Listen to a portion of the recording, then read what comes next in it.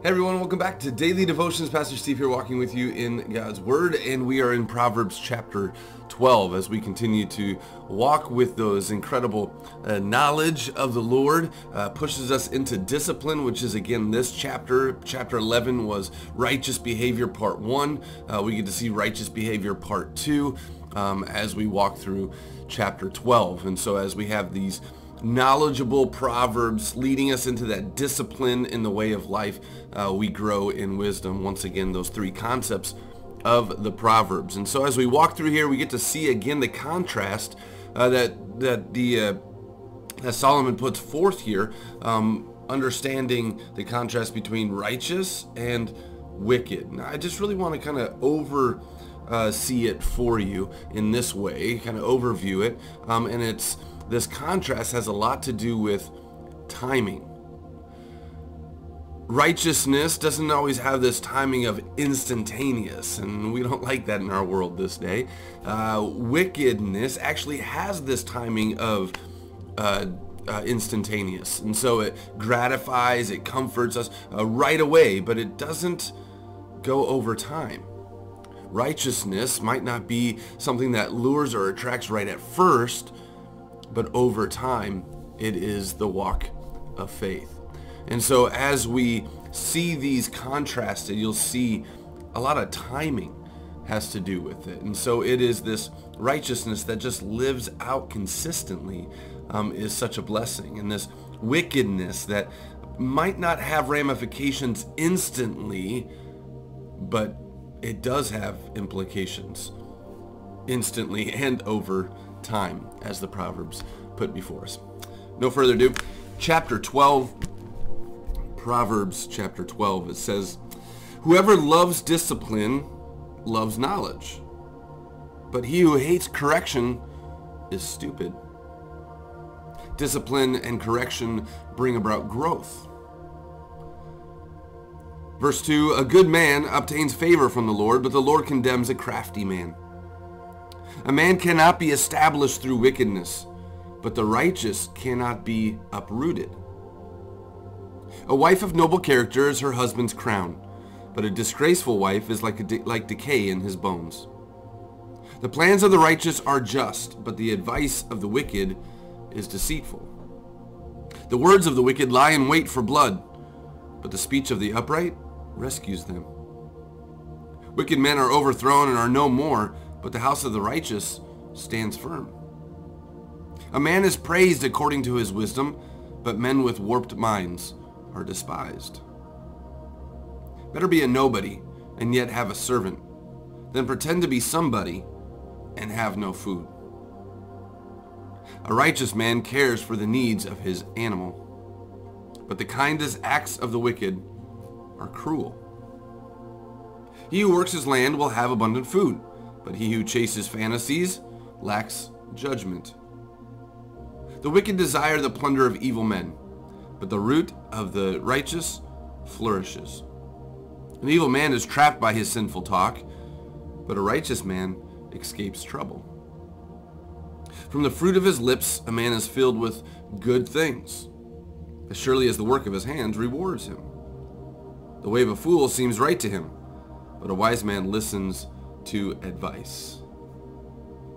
A fool shows his annoyance at once, but a prudent man overlooks an insult.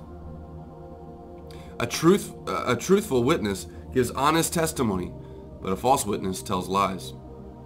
Reckless words pierce like a sword, but the tongue of the wise brings healing. Truthful lips endure forever, but a lying tongue lasts only a moment. There is deceit in the hearts of those who plot evil, but joy for those who promote peace. No harm befalls the righteous, but the wicked have their fill of trouble. The Lord detests lying lips, but he delights in men who are truthful. A prudent man keeps his knowledge to himself, but the heart of fools blurts out folly. Diligent hands will rule, but laziness ends in slave labor. An ancient, uh, anxious heart weighs a man down, but a kind word cheers him up. A righteous man is cautious in friendship, but the way of wicked leads them astray. The lazy man does not roast his game, but the diligent man prizes his possessions. In the way of righteousness there is life. Along that path is immortality. That last verse kind of sums it all up. The way of righteousness, there is life, there is direction, there is, as it says, immortality, because it's the way of God, kingdom of God that isn't just temporal, but is rather eternal, but the way of wicked, the way of sin, the way of uh, the allurement and attraction to self and to this world only lasts a little while, only lasts temporal. It has nothing to do with eternal. And so uh, the way of righteousness, there is life along that path. There is immortality. The contrast between righteousness and wickedness. The contrast be being able to say, how do I live out my life? Righteous behavior, part two, as we have in chapter 12 here. Um, how do I live out my life in a right relationship with God? Him being able to actually give me that strength to walk in righteousness, to walk in faithfulness, so that I can walk not just in temporal, but eternal impact. As I wander from that, as I separate myself from that, I walk away from life. I walk away from the path of eternity. I walk in just the temporal timings, reactions, and a lot of our reactions are going to be selfish. A lot of our reactions um, are going to be about our comfort.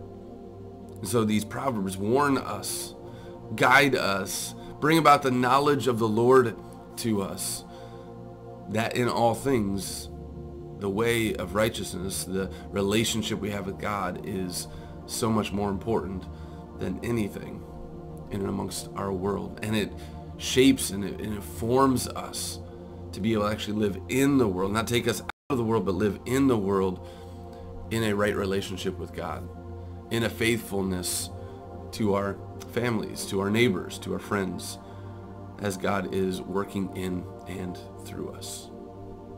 The way of righteousness might not always be easy, comfortable, but it is the way of life. And it's the way of faithfulness. And it's the calling that God has for us in our life in Jesus.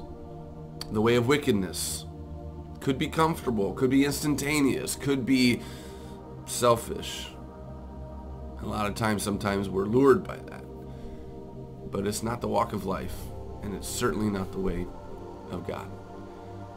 And so as we walk this day, may we walk in not just asking the question, but knowing the answer. What would God do? What would God have me do? And he always gives us that answer. Just walk in the way of faithfulness in your relationship with him. And that will have a temporal and perhaps an eternal impact on those around you.